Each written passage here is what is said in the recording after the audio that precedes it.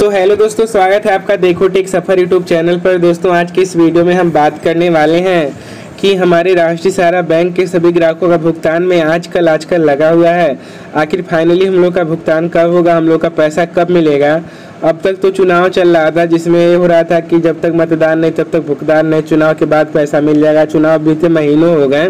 लेकिन यहाँ पे कुछ भी रिज़ल्ट हम लोग के सामने नहीं आया कि हम लोग का भुगतान कब होगा, कुछ भी न्यूज़ कुछ भी खबर हम लोगों के सामने नहीं आ रही है। तो इस वीडियो में हम आगे बढ़ेंगे, आपको समझाएँगे, बताएँगे कैसे कैसे, क्या है, क्या अपडेट से क्या न्यूज़ है, सब कुछ जानकारी, जो नई अपडेट्स आई हैं, आपको बताने वाला हूँ। तो चलिए फिर इस वीडियो को कर लेते हैं शुरू।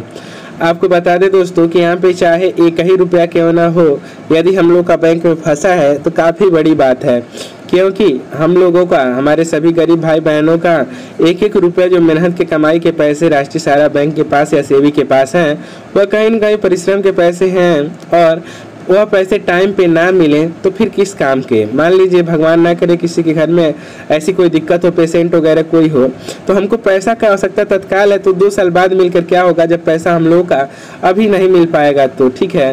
तो दोस्तों, इस पर बहुत सारे लोग धरना प्रदर्शन वगैरह तरह तरह के नए नए जुलूस वगैरह, हर जगह मतलब इस तरह से काफिला चला रहे हैं। लेकिन दोस्तों यहाँ पे कुछ निर्णय नहीं निकल कर आ रहा। है इलेक्शन में वादा किया गया कि इलेक्शन बीत जाएगा तो हम लोग का भुगतान करा दिया जाएगा। इलेक्शन बीत चुका है लेकिन तब भी हम लोग का भुगतान अभी तक नहीं हो पाया।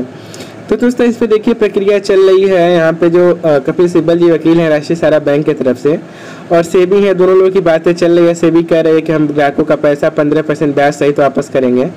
तो देखिए, यदि ऐसा हो जाए तो काफ़ी बेहतर रहेगा हम लोगों के लिए। जो भी नई अपडेट आएगी, आपको बताने का सबसे पहले प्रयास करूँगा। चैनल को सब्सक्राइब करके रखिएगा बेलाइकन दबा के। बाय बाय दोस्तों।